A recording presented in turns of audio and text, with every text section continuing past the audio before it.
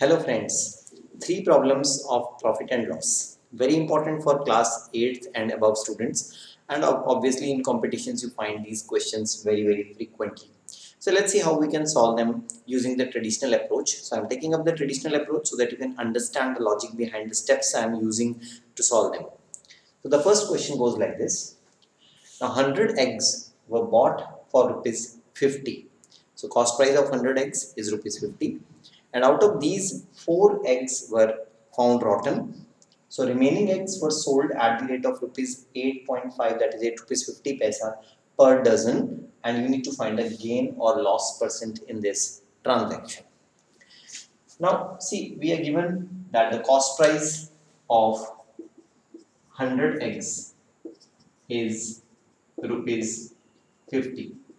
So we need we know the cost price of one egg obviously from this. So CP of one egg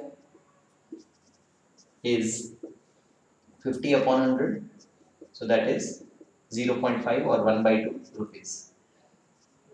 So this is one thing. Now if 4 eggs were found rotten they cannot be sold so remaining eggs are 100 minus 4 that is 96. So the selling price of now see we are given that they are sold at rupees 8.5 per dozen. So selling price of 12 eggs is given as rupees 8.50. So we need this uh, data now and this data will work for us to get to the answer. Now SP of 12 eggs is this much. So SP of 1 egg is rupees 8.50 upon 12. So how many eggs are sold? SP of 96 eggs because 4 are rotten out of 100 so 96 are sold. So that is rupees 8.50 upon 12 into 96. So this is exactly 8 times and 8 into 0.5 is 4, 8 into 8 is 64. So 64 plus 4 gives us rupees 68 as the selling price of 96 eggs. Now 68 rupees are obtained on selling and uh, the cost was rupees 50. So 68 is obviously greater than rupees 50. So here selling price is coming out to be greater than cost price. That implies we have gain. And how much gain? That is 68 minus 50 which is rupees 18. So we have 18 rupees gain on the transaction and obviously gain is always calculated on the cost price. What is gain percent? Gain percent is gain upon CP into 100. So very easy calculation. This is 36% gain which is the answer of this question. So I have written this cost price of one egg here just to for the understanding purpose. Even if we don't write this step, other steps will get to the answer very easily. So this is the first question.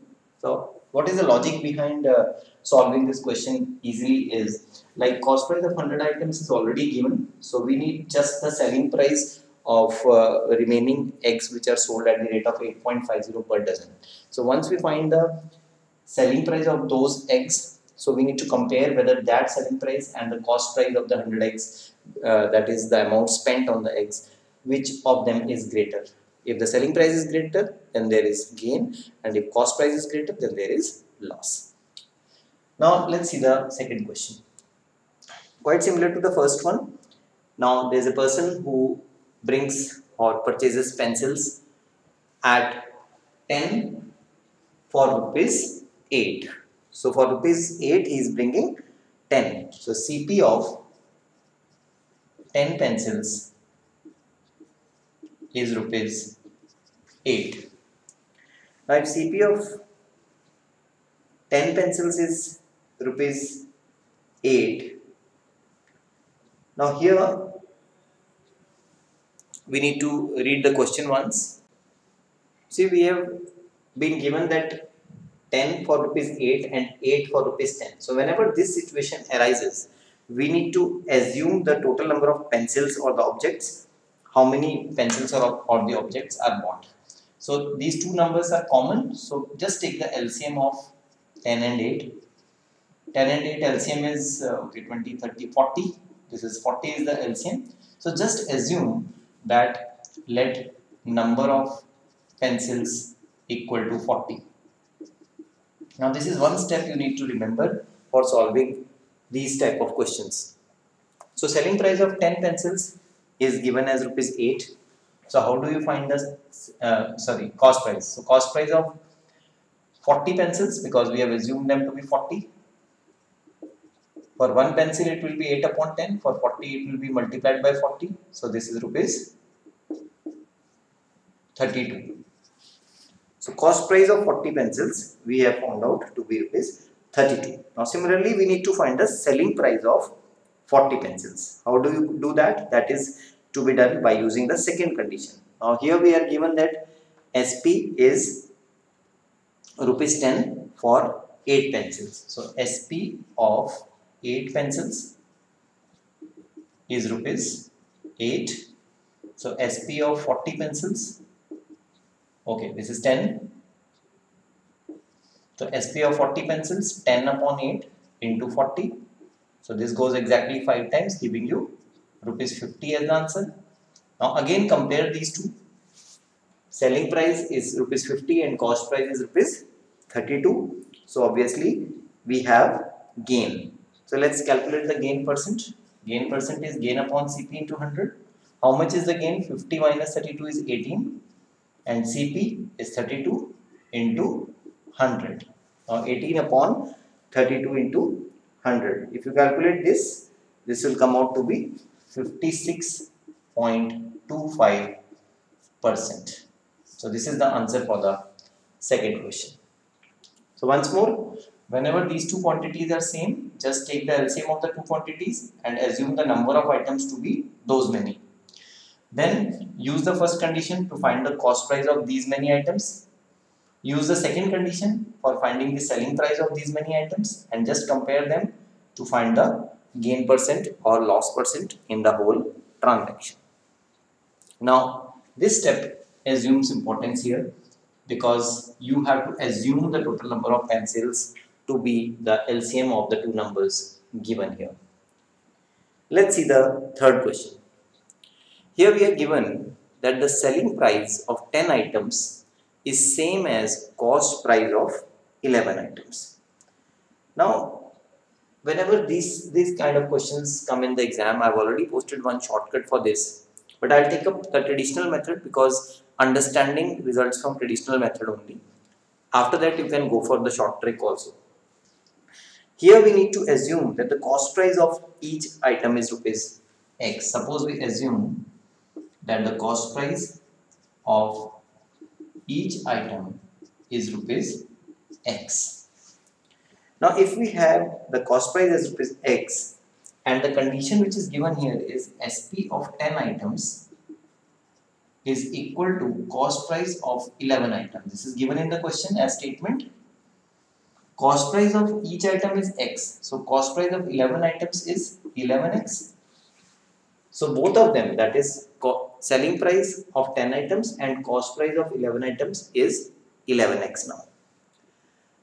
What about see selling price of 10 items we have already found out. And what about the cost price of 10 items? Cost price of one item is x so for 10 items it is 10x so now you see the two things we have obtained here. Selling price of 10 items is 11x and cost price of 10 items is 10x so when selling price is greater than the cost price we have gain and gain comes out to be sp minus cp that is 11x minus 10x that is x. And after this the process is very simple because once we have found out the gain and we know the cost price then we can find the gain percent by using a simple relation gain upon CP into 100 gain is x and what about the CP? CP is 10x here multiplied by 100 simple calculation x cancels out 1 0 cancels out 10% is the gain on the 4. So friends, three problems which are very important, very, very important for class 8 students because understanding is what is required to solve these problems because most of the students, you know, they read the uh, statement and uh, feel a little bit of discomfort while solving profit and loss problems. So for more profit and loss problems, keep uh, watching the channel and you can see the commercial mathematics playlist in which I have posted a number of videos uh, including shortcuts on profit and loss. So if you like all these and uh, you are enjoying uh, the you know shortcut tricks in mathematics which are useful for competitions then subscribe the channel and uh, do share the links with your friends also